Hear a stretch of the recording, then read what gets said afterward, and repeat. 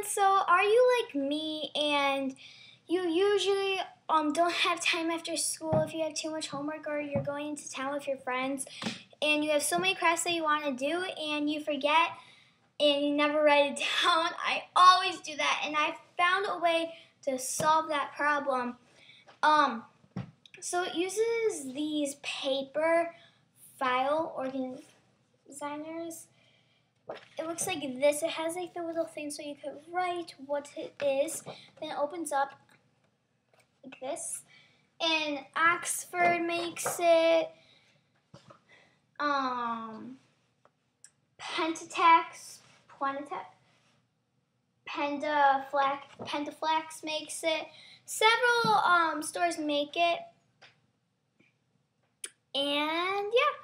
Um, so the reason why I came up with this is because, as I told you, I don't really have time, and yeah, so I make these over the weekend, but I usually forget, and this is easier for me because I, I already have one going, because I could just take this out of the thing and say, okay, this is the hemp bracelets, open it up, I have the supplies on this note card, and I have a source, a very good source, which if you guys want to know how to make hemp bracelets um, or beaded bracelets, you go to Soulcraftastic's channel and you type in DIY beaded wrap bracelet or how to make a wrap bracelet. Um, that's the one I found the most easiest. I am going to look at more to find more, um, but yes. So sources in the description box of the hem of the video, I'll put down their sources if you need extra help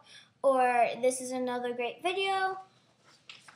Um, also, what I'll put in here, also on computer paper, I'll put pictures of it, pictures and um, how long it will take you, all that information, and like written up by one, two, three, four, five on how to do it.